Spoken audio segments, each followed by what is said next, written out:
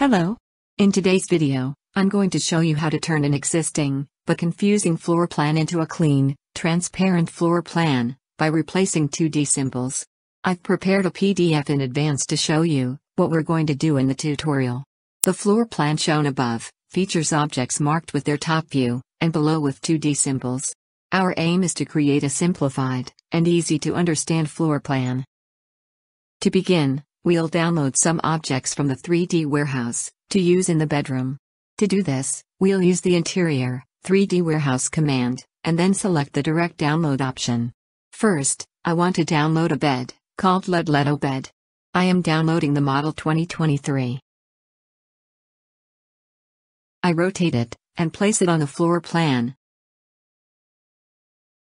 and adjust the width to fit between the two bedside tables, it will be 1850 mm including frame. For the corner of the room, I download the next object, which will be an armchair. I'm using the 3D warehouse in the same way, only this time I'm downloading using the external browser. The name of the armchair is Viola Armchair, and I will use the 2023 model. After downloading the armchair model, I'll locate the file in my downloads folder. To import the model into the program, I can either use the drag and drop method to drag the file directly into the program, or select File menu and choose Import. I can see its box size here. I use the Place button to place it after saving it.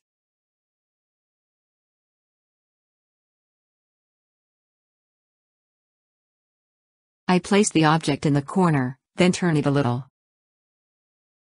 Now I'll show you how to replace the top view of the object with a 2D symbol. I have two options, one is to replace them with a plain rectangle. We use this for rectangular objects, like the table, or this ottoman in the corner. The other option is to replace them with a library group that I define. Let's look at replacing this ottoman with a plain rectangle first. There are two ways to access the command. The first is through the interior menu, under Single Object, then Tools, and replace 2D symbol with box. Once we select the object, the program will prompt us to confirm whether we want to overwrite the original object or create a copy in the library. In this case, I want to overwrite the original object, so I'll select Yes. The program will automatically replace the top view of the ottoman with a simple rectangle. Let's do the same for the table. This time, I'll show you how to access the command from the object's local menu. From here, I choose Edit, replace 2D symbol with box. Here again I choose Yes, which overwrites the objects in the library. Let's continue with the other option, where we replace the top view of the objects with the library group we have defined. Let's start with these chairs. First, I'll look at their box size, 500 by 500 millimeters. First, I need to create a library group, the dimensions of which will be 500 by 500 millimeters.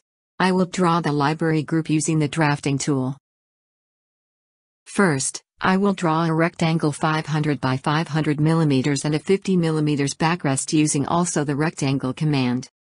I save this using the drafting menu, 2D group, create group in library command.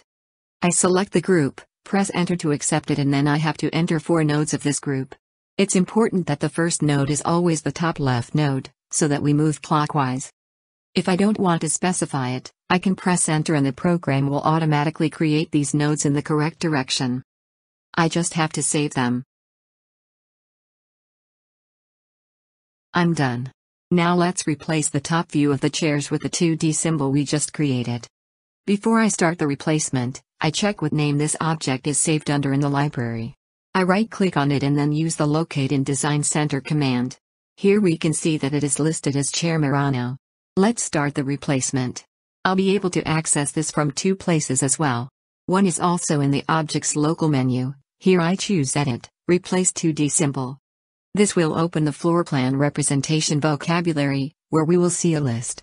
This means that if there are several types of chairs in my project, and I type in the word chair, the program will replace the top view of the objects that have the word chair in their name with the 2D symbol of my choice. If I want to narrow it down, I have to enter the exact name of the chair, so it will only replace the symbol for those chairs. I can use the Add New Name pattern button to add the specific type, in this case Chair Murano. I make the Selection tab active, and then click on Replace to select the symbol I have previously saved in the library. It is important that the nodes and the position of the library group we draw, are the same as those of the object saved in the library. In this case, for example, the backrest is on top. I also drew the library group itself, so that if it is rotated by 90 degrees, we can rotate the library group as well. I accept it with OK, and then when I overwrite it, the program will create these objects with the new symbol. Let's continue working on the armchair. Now I'll show you the other way to access this function, Interior, Single Object, Tools menu, 2D Symbol Replacement command. In this case, however, I have to choose which object I want to use.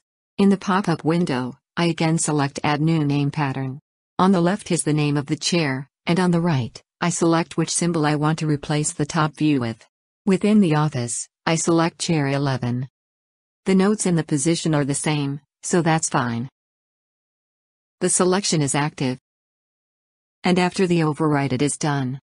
Moving on to the next object, which will be the bed. Now from the local menu I'm going to launch the command edit, 2D symbol replacement command. I click on the add new name pattern button. Select the group.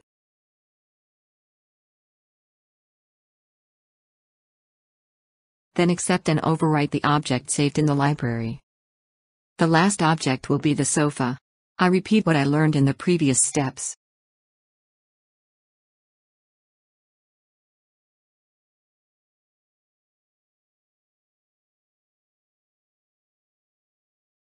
Here again, I overwrite the saved object in the library.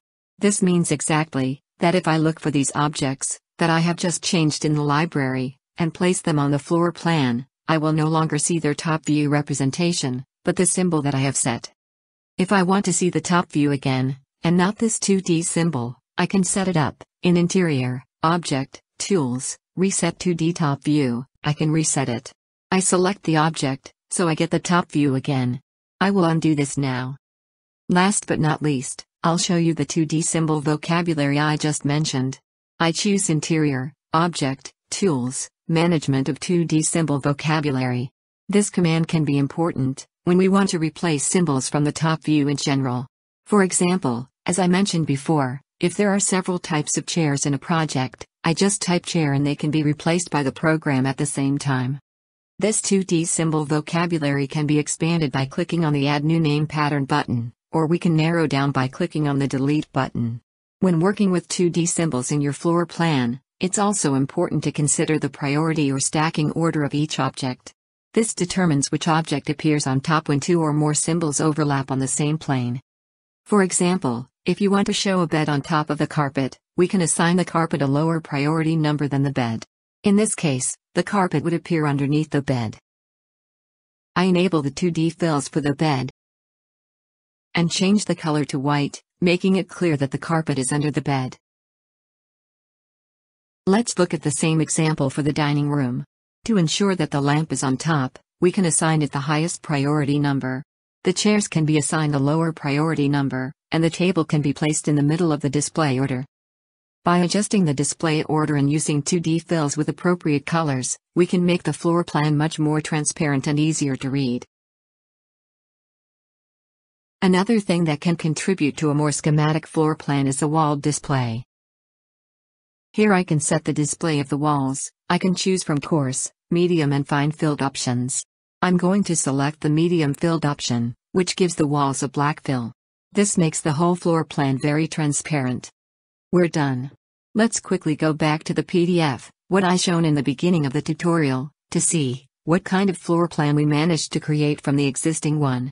It's clear that it's much more transparent, and we've also rearranged the display order. The replacement of 2D symbols is a very useful function if we want to create a more streamlined floor plan. I hope this video was helpful to you, and that you'll join me again next time. Until then, have a nice day. Goodbye.